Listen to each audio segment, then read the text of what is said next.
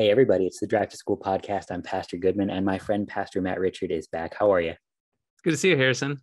Good to see you too. We're uh, we're closing in here on Christmas. Uh, it's it's right in the middle of Advent. Uh, things are things are looking up. I'm I'm actually kind of it's weird. I, am uh, the content executive for Higher Things, which is a really fancy way of saying uh, I'm a pastor like Dr Pepper is a doctor now. Um, so my my season's actually kind of slow, um, where everybody else is freaking out. So I really appreciate you making time for me here. Yeah, yeah. Well, actually, you know, I, I, I met with my elders here the other day, and they looked at uh, coming to the end of the year, and they looked at my. Uh, I keep track of my vacation, how much time, and and so I get this much vacation, and I've only used up this much, and they said they said you better do something about that before the end of the year. So I took yesterday off, which was great. Um, I'm trying to pull the throttle back a little bit. Um, and uh, we don't have any you know people in the hospital right now so which is good. So so i've been pulling the throttle back a little bit too here so but we won't tell anybody that i'm doing that so. Yeah because i mean there are things you have to appear as right? Um one right. of them is busy uh, and the other one's actually the one we're going to talk about today. Uh we we want to appear popular. So uh what does jesus say pastor richard about popularity well, I'm thinking of the the uh, gospel lesson for this weekend where he talks about John the Baptist, and he says about John the Baptist, "Would you would you go out to to see a, a guy dressed in fine clothing? Uh, in other words, a person that was uh, wearing the luxurious clothes of of the rich and famous, uh, somebody that was cushy with with uh, the uh, the word that we're using a lot these days is the elite of the day.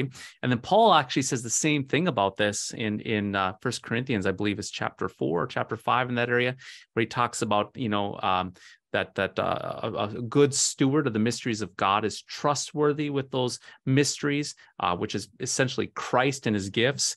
And uh, Paul goes on to say, you know, I really don't give a whole lot. I don't really care what other people say about me, what you say about me. Um, only only God judges me and we understand that context that uh, he's not a reed blowing in the wind. I love that. You know, uh, this idea of a reed.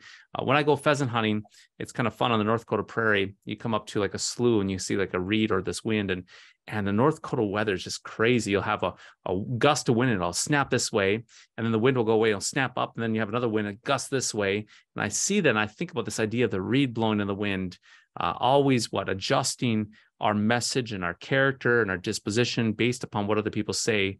And that's exhausting. It's absolutely exhausting. And you think about that if Jesus would have done that, or John the Baptist would have done that, uh, then all of a sudden what we're doing is we're being uh, a, our conviction and our center of gravity or our center of, of our faith is then going to be based upon which way the wind blows. And right. it blows. That's actually why. Yeah, go ahead. Sorry. That's actually why John the Baptist was was martyred, right? Because he wouldn't go back and forth whichever way the culture wanted him to go, whichever way the powers that be wanted him to go. He he stood very firm in, in the word. Yeah, but it's so. It, but here's the thing: it's so tempting for us. Uh, we want to be liked uh, as human beings. We want to be liked. We want to be uh, included. Uh, it hurts when we're not included in a group. It hurts when we're not included in a certain segment of the population, or we see a group of people that they look like they have it together, and we want to be with them. We want to be accepted. We want to feel uh, like we're approved, and then we feel like, oh man, if I if I want to be accepted by the group, I have to say a certain thing or act a certain way. And then all of a sudden uh, we do that, but then we lose our conviction. We learn, lose who we are. We learn we lose who we are in our baptisms. And uh, so when we look at this, look at John the Baptist uh, he really sets us straight for us that he's not going to be a reed blown in the wind.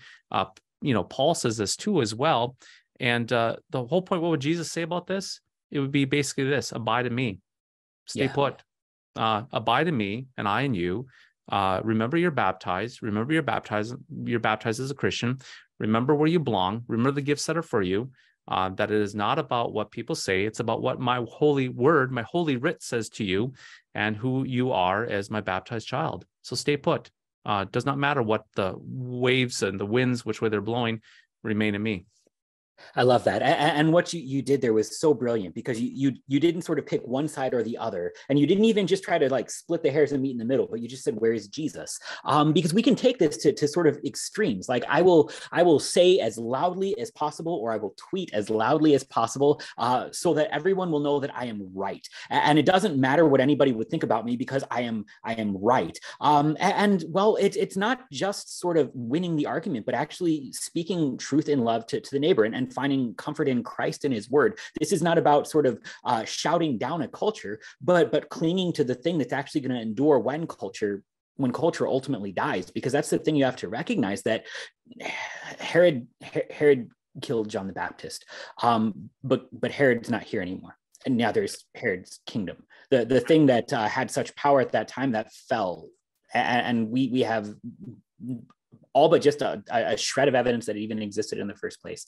Um, but the word of the Lord is still standing, and, and John the Baptist is in heaven right now. Uh, but the other side of this coin is to sort of say, well, God doesn't care what anybody thinks about me. And, and that's not true either, because, well, he actually gives an eighth commandment to sort of shelter your name. He actually cares how people speak about you so much that he says that, that when we, we speak about our neighbor and when our neighbor speaks about us, uh, that, that uh, we should not uh, tell lies about them, betray them, slander them, or hurt their reputation, but uh, explain everything in the kind way, uh, defend them, speak well of them, all of these things that our catechism gives to us. Uh, the thing is, though, it, it's that we're not going to change who we are. We're going to be baptized. What, what is your identity? Well, you're, you're a sinner that Jesus died for. And since that forgiveness is, is so important since that that uh, that that truth both of the law and the gospel is so vital not just for today but for all of the days long past when the wind is done blowing the reeds around that's what we want to hang on to yeah, you know, I, am reminded as, as as you're sharing here, I'm reminded and thinking about all this when I was in uh, junior high. You know, I played hockey, and so then I was a hockey player, so I was in the hockey group, and then I remember uh, I quit hockey, and then all of a sudden you come to that lunch line, right, and you get your plate, and at least where I grew up, you get your plate and you get your food, and you come up and you have that card and you swipe it with the lunch lady, and then you kind of come up, grab your silverware, and then you stop, and there's this all these tables and the round tables, and then it's like oh my goodness, which table do I go to? And for the longest time, it was always the hockey table. But I'm like, okay, I'm no longer a hockey table. And then it was like, okay, there's a farm table, like with all the farmers, uh, farm kids. And I'm like, nope, can't go there. And then there was the there was the basketball table, couldn't go there. And then it's just like you just you're just paralyzed. And and this is what we do with life. Even adults do this. We, we we try to pick that group. But here's the reality: is is today's popular group is going to be tomorrow's irrelevant group and maybe today's relevant group is going to be the future popular group and it shifts on a dime. It just moves back and forth left and right. And and and paul talks about this too about um, us as christians that we're not children we're not little uh, infants in christ. We, we, are receiving his gifts but but the, the, imagery is that we're not we're not just a, uh, an infant being bounced around or blown around by, by every yeah, by every wind of doctrine in this world, left and right, we are stable in Christ. We're stable in the foundation of Jesus. Um, we don't build our house on shifting sand. Our house is built upon the rock, which is Christ.